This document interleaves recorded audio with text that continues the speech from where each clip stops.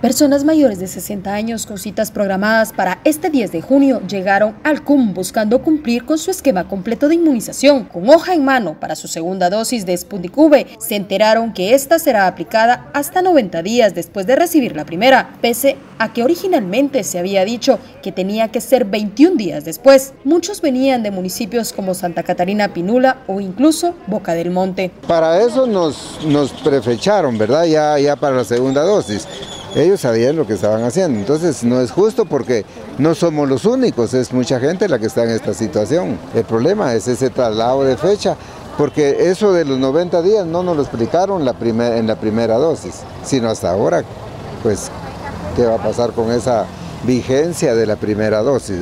Hoy nos tocaba, nos toca hasta el 20 de agosto.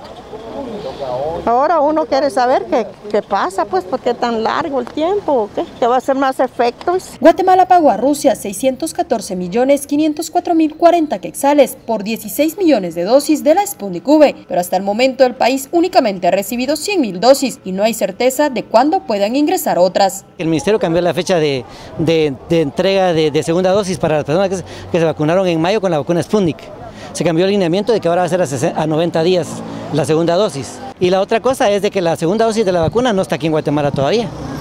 Porque la segunda dosis de la vacuna Sputnik es diferente a la primera. Con imágenes de Elmer Vargas, reportó para Noticiero Guatevisión Andrea Domínguez.